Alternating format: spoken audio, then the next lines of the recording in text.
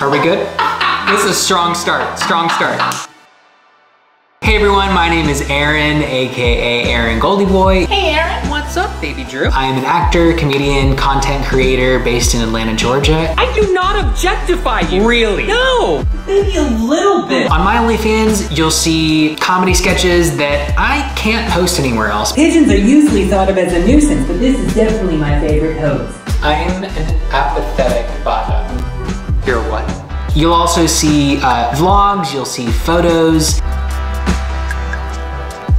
Anyway, behind the scenes on my life as an actor, Like an old man?